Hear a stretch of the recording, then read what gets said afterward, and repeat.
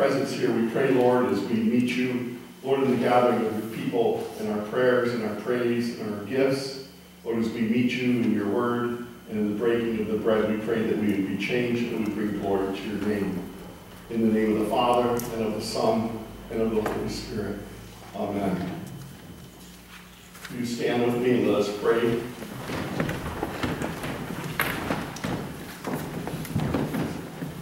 Almighty God, to whom all hearts are open and all desires known, and from whom no secrets are hid, cleanse the thoughts of our hearts by the inspiration of your Holy Spirit, that we may perfectly love you and worthily magnify your holy name, through Jesus Christ our Lord.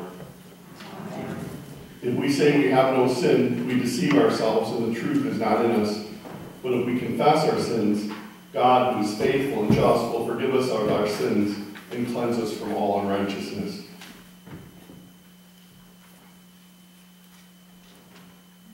Let us pray together. Merciful God, we confess we are in bondage to sin and cannot free ourselves. We have sinned against you in thought, word, and deed, by what we have done and by what we have left undone. We have not loved you with our whole heart. We have not loved our neighbor as ourselves. For the sake of your Son, Jesus Christ, have mercy on us. Forgive us, renew us, and lead us, so that we may delight in your will and walk in your ways to the glory of your holy name. Amen. Almighty God, in his mercy, has given his Son to die for us, and for his sake forgives all of our sins. In the name of the Father, and of the Son, and of the Holy Spirit, you are forgiven. Amen. Our first hymn is number 174, For All the Saints.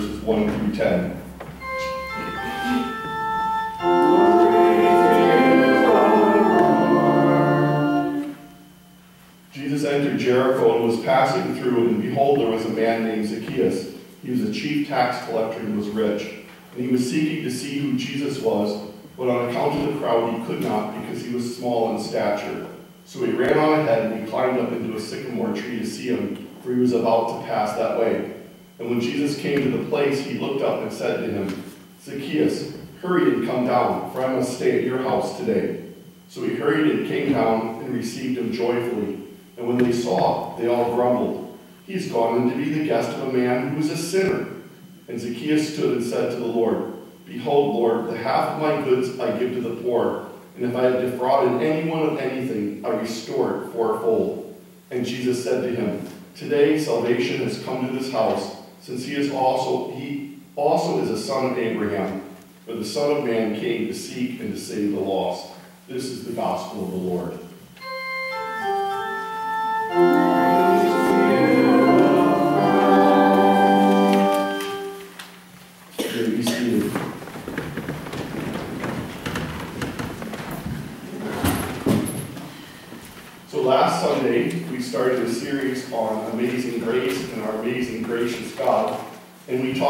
Saving grace. And I just want to look back and review it a little bit because I think that it's good we review it so that it goes down inside of us and uh, we remember it better. And we said that grace is the gospel of the Lord. It's the word grace is used over 120 times in the New Testament. And the definition of saving grace is to be in favor with God, the free, unmerited favor of God as demonstrated in the salvation of sin and the bestowal of his blessings on his people. The power, the strength, and the ability of God at work in and through us. And saving grace is especially beginning with the removing of our sins and giving us a new nature. So saving grace is the foundation of salvation. Ephesians 2, Verse 8 says, By the grace, by, by grace you have been saved through faith, and that not of yourself, it's the gift of God. Not as a result of works, so, no one, so that no one may boast. It is God's grace that reaches out to fallen, sinful people. God sent Jesus to save sinners. Romans chapter 5, verse 6.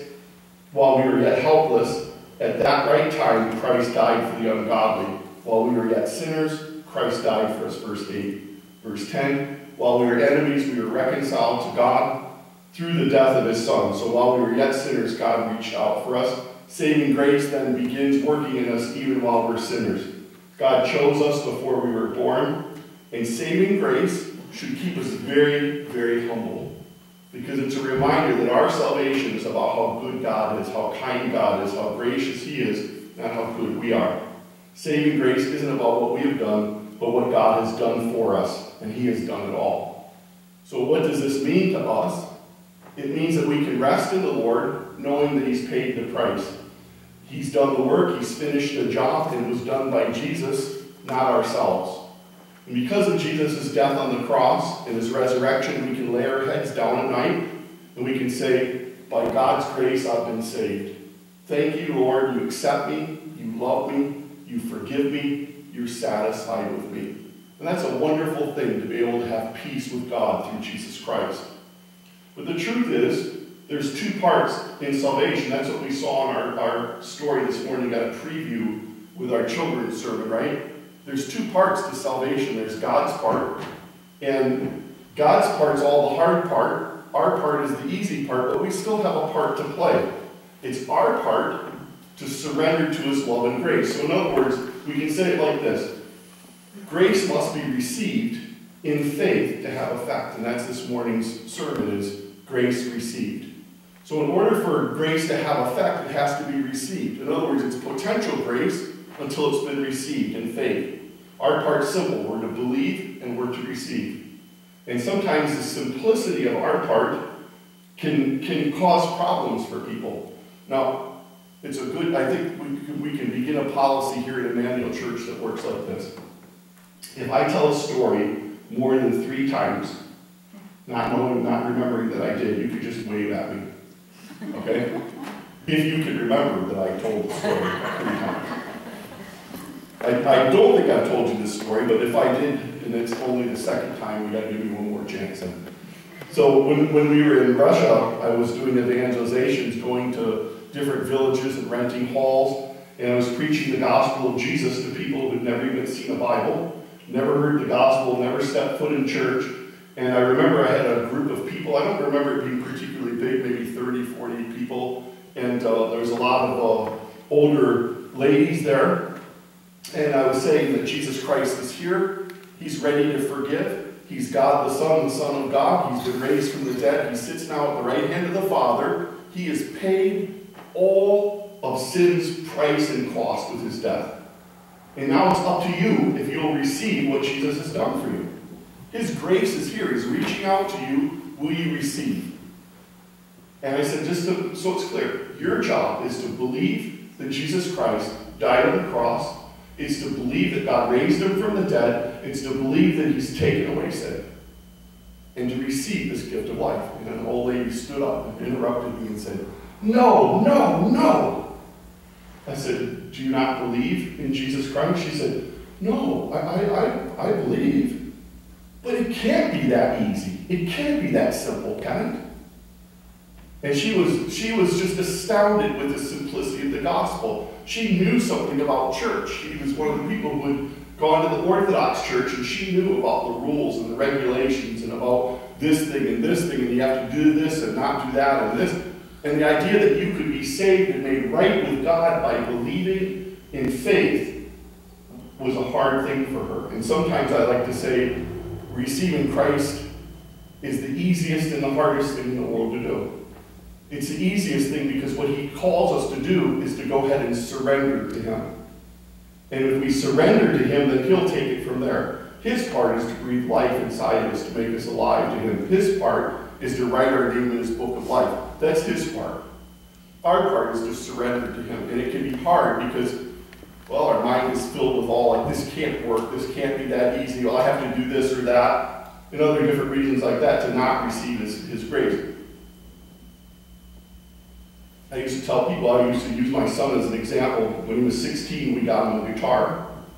He's a, a guitar player and got him a nice guitar for his 16th birthday when we visited the United States. And I'd have him stand up in front of everyone and I'd say, okay, we got this gift for my son. It's a guitar. And I said, son, it's really a beautiful guitar. It has wonderful sound. It's electric acoustic. It's got, it's great. Hook it up to the sound, you're to love it. And he would stand there with his hands behind his back and say, Oh, Dad, I love that guitar. It's beautiful. Oh, I bet it sounds great. Oh, yeah. And I'd, I'd keep pushing it towards him and say, Well, son, it's, it's, it's yours. We got it for you. We bought it for you. And he'd say, Oh, I love the, I love the color. I love, yeah, it's beautiful. I like how it has those leaves on it. I say, Take it, take it. And then I would say, You know, if he doesn't receive that, it has no value. And that's how it is with, with God's grace, is God's grace is available to people, but it has to be received in faith. And so people would understand. Now listen to God's word in 2 Corinthians 6, chap, uh, chapter 6, verse 1. As God's fellows workers, we urge you not to receive God's grace in vain. So for some people, grace is in vain. Has no power, has no effect because they don't truly receive it in faith. For he says, verse 2, in the time of my favor I heard you, and in the day of salvation I helped you. And I tell you, now is the time of God's favor, now is the day of salvation. God sent me, I told this lady, to preach his gospel to you. And if you will believe and receive, he'll make you alive in Christ. And so her and many other people uh, received the grace of God that day. And you know, I was blessed to get to see this happen over hundreds of times in different villages and towns and then to go back, you know, the next year to check on the people and check on the works that we are involved in, and to see the fingerprints of God on these new believers as their lives were changed and transformed by the grace of God. Because the same grace that saves us transforms us as well. And I told it is I would tell these people, I tell every people, all people that whether no matter what country I'm in, our country, I tell people this all of the time, right? when, when if a person wants to receive the grace of God, their part is found in Romans 10, verse 9 and 10. If you will confess with your mouth Jesus is Lord, if you'll believe in your heart that God raised him from the dead, you will be saved. That's God's promise to people. That if we believe, if we confess, and we receive, God's word goes on to say, For it's with your heart that you believe and are justified, and it's with your mouth that you confess that you confess and are saved. So I want us to look for a few moments at Zacchaeus as an example of grace received. And uh, as I said in the children's sermon, one of the things we know right away is that he was a chief tax collector. You know, the word chief tax collector is only used for Zacchaeus in the New Testament. Nowhere else is it. There's tax collectors, but there's no other chief tax collectors. So I think that we could say that he was a sinner and a really good sinner. He was a well-established sinner. And uh, he was a serious sinner, and he was hated by his fellow Jews because he was considered a treacherous traitor working for the Romans. But the real problem for Zacchaeus was not that he would be willing to work for the Romans, but that he was a liar, a cheat, and a thief who used his position to steal from God's own people. And it's important for us to really make a note of this, but in spite of being a wretched sinner, a serious sinner, listen to this he had an interest in knowing who Jesus was.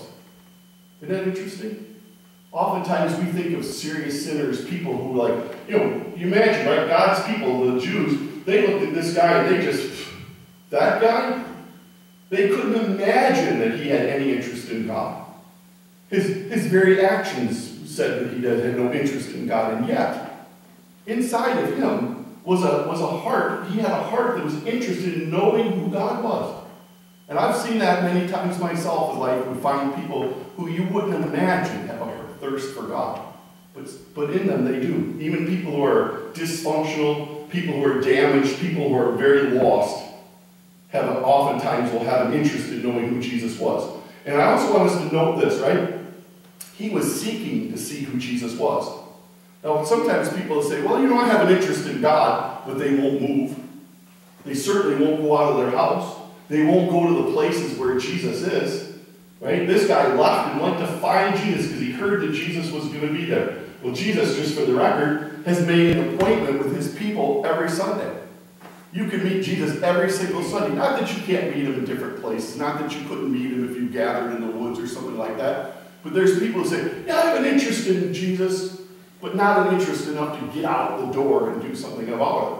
Zacchaeus wasn't like that. He's a good example of a person who wanted to receive the grace of God. Because he not only went out the door, he, when he couldn't find Jesus, he didn't give up. It would have been easy for him to go, yeah, you know what? I'm always the shortest one. I can't see anything. I'm not going to hear anything. I might as well just go home.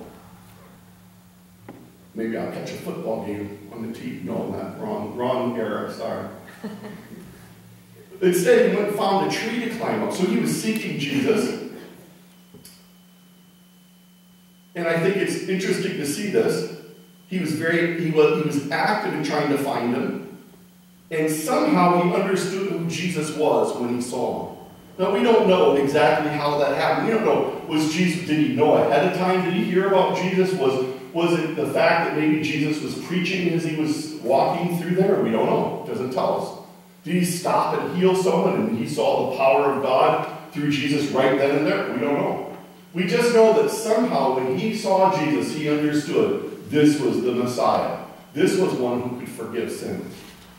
And Jesus, and like I said to George, I, the amazing thing is, right, that he was seeking Jesus and Jesus was seeking him. And he says, Zacchaeus, come down from there. And he comes down and he says, Today I'm going to stay at your house. Now, here's, I think, a really interesting thing, right? He responded to the knowledge that Jesus was the Lord. And once he knew, right, once he knew who Jesus was, Zacchaeus responded with joy, with obedience, and with repentance. Many aren't like Zach, Zacchaeus. They don't respond even though grace is there, right? They say they want to know God, but they don't seek Him. They say, they say that they've seen Jesus is the Son of God, but they've done nothing of what Zacchaeus did. They've believed, right? They say, yeah, I believe. How many, how many people say we meet, right, on a daily basis will say, yeah, I believe. Sure, I believe. But they've not responded to His grace. They haven't actually received His grace. They just simply say, yeah, I believe. Well, there's believing and there's believing, right? Real belief trusts and relies on Jesus. They, they say they believe, but they go back to their lives unchanged, unsaved, never having actually received the grace of God. They received Him, some received Christ. They say, okay, I believe. I want that grace so that I can be saved, but then not responded with repentance. You're welcome here, Lord. You can eat at my table, you can stay in my home, but I'm not ready to actually admit that I'm a Savior, a sinner in need of a Savior. I'm not ready to throw myself on your mercy. I'll live my life as I have, but I'll say that you're my Savior. But the bad news is that grace is in vain. If Zacchaeus had just welcomed Jesus into his home and fed him a meal and given him a bed to eat and said, Me and Jesus, we're like this, man, we're friends his, that grace would have been in vain. It was because he responded with, with repentance and understood that here was Jesus Christ, the Son of God, God the Son, and he said, I will change my life. I will, I will quit living my life the way I want to live it, and I'll live it the way that's going to please you. The grace that isn't received is in vain. It won't save, it won't transform, because it actually hasn't been received but been rejected. Now, others have received Jesus, and they've even repented. But they haven't actually received him with joy. Some Christians receive Jesus, but they act like it's a hardship. They act like it's some difficult thing that they would be called to serve the living Son of God. They act like it would be some difficult thing to uh, do his bidding, acting as if they're doing God a favor by serving him. They say, You saved me. Thank God. And then they act like it's a hardship. Zacchaeus sought Jesus, he heard, and he believed. When Jesus called him, he responded with joy. He repented. He turned from living his way to living God's way. His repentance included making things right as best as he could. His repentance included making changes in the way that he lived, in the way he worked, and the way he dealt with people. In other words, he took his value system and his way of living and he moved it to the side and he took kingdom's way of living and said, This is the way I'm going to live from here on out. He received the grace of God, and Jesus said, Today salvation has come to this house. Jesus has come into the world to save sinners. God offers his grace, his saving grace. Have we received it and received it wholeheartedly with joy, inviting him into our home and into our heart? Have we received his grace with repentance, willing to change and do life his way? To not say, just forgive me, but Lord, I'll quit doing what's sinful and displeasing to you, and I'll live your way. Grace received brings salvation to our home and to our heart. Amen. Let's pray. Father, thank you, Lord, for the gift of grace that you have sent Jesus Christ, the Son of God, God the Son, to die in our place. Lord, let us not treat your grace disrespectfully or like it's some small thing, but with a whole and an open heart, receive your grace. Lord, receive you. Receive your spirit. And Lord, let it be our, our prayer and our purpose, Lord, that we would live our lives to please you since you have saved us, you have made us alive, and you have given us a new life. In Jesus' name, amen and amen. Our hymn is number 305, Jesus Paid It All, in the celebration hymn.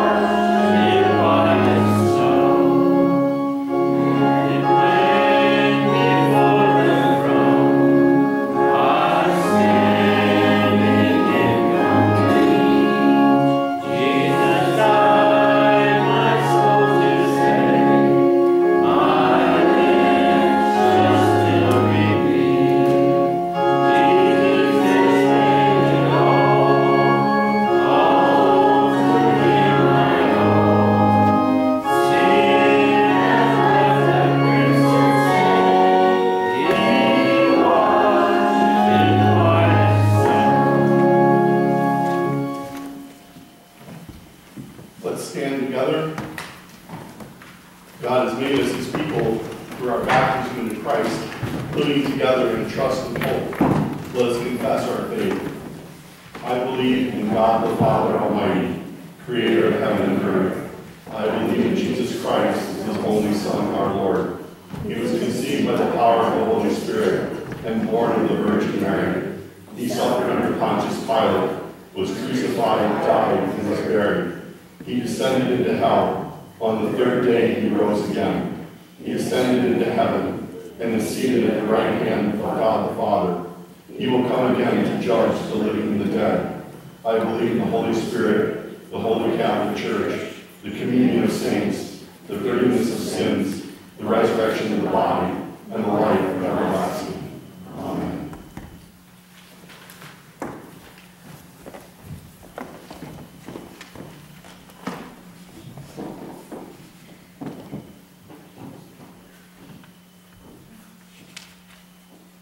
Uh, One thing I wanted to mention, I forgot to mention, uh, with Doc, maybe all of you don't know, but his mother died in childbirth. And in the weeks of listening to Pastor Michael's sermons about angels, first thing that came to my mind in the celebration when someone dies, his mother was going to be there to greet him. He's going to finally get to see his mother. That's the first thing that came to my mind. And I, I admit that a lot of times with this angels, uh, I was perturbed and we had to speak about it. We had to, uh, I'm so glad for his sermons on that, that I had that feeling come to me right away. Mother's going to be there to meet him and be so joyful. There's a point every week to the sermon, you just have to listen to him. And then, now he's on grace, and every day on the computer, I get something on grace. So yesterday I had to write this down because it just hit me. My story is filled with broken pieces, terrible choices, and ugly truth. It's also filled with a major comeback, peace in my soul, and a grace that saved my life. You know, just, we've not had a minister that spoke in connecting every week, so you have to come every week so you know what's next. Because if you're confused this week, next week he's going to straighten it out for you. Amen. Now I'll continue with my job to lead prayer. Let us pray for the whole people of God in Jesus Christ and all people according to their needs. Lord, in your mercy. Gracious Father, we lift up to you all in need of your healing touch. Grant healing of body for the sick. Brody, Jessica, Faith Shingara, the Wilkinson family, and all members of our congregation that are having health problems or other problems. Come, give them comfort of the soul for the grieving, and peace to those whose mind raised with worry or confusion. Bless them with your peace, which patches all understanding, as they put their trust and hope in you, Lord, in your mercy. We lift up to you all who are part of our church family that are in care centers, nursing homes, and ask that you give them a sense of your presence and peace that goes beyond circumstances. Lord, in your mercy. Father, forgive us when we act in ways that lead others to sin. Remind us that through Christ Jesus we have received your grace and mercy, not just for our benefit, but for the benefit of others. Give us hearts of love that we may see others as you see them. May our deeds reflect your love and build up the faith of others. Lord, in your mercy. Father, we lift up to you our nation. Be with our leaders that they might lead according to your wisdom and will. Lord, we ask that revival that revival, spiritual renewal, and accept and repentance will sweep our nation and turn the hearts of our people back to you. Lord, in your mercy. Holy Father, we hold before you all who are suffering persecution, imprisonment, loss, and suffering for your name's sake throughout the world. Deliver them, we ask. Grant them grace to endure your power to remain faithful. Pour out your peace on them and their families. Lord, in your mercy. Into your hands, merciful Father, we commend all for whom we pray, trusting in your mercy through your Son, Jesus Christ our Lord. Amen. Let's worship the Lord with our tithes and our offerings. Father, you have given us the breath of life. You are the source of every good thing in our lives. In you we live and move and have our being. Lord, we offer you our offerings with thanksgiving, with worship, in our lives as well. In Jesus' name, amen.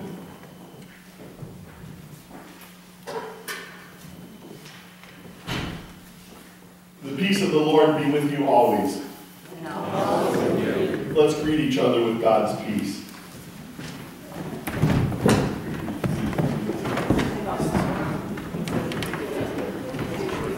The Lord be with you. And also with you. Lift up your hearts. Let us give thanks to the Lord our God. It is right and salutary that we should at all times and in all places give thanks to you, Holy Lord, Almighty Father, everlasting God, through Jesus Christ our Lord. For what had been hidden from before the foundation of the world, you have made to the you have made known to the nations in your Son. In him being found in the substance of our mortal nature, you have manifested the fullness of your glory. Therefore, with angels and archangels, with all the company of heaven, we praise your name and join their unending hymn.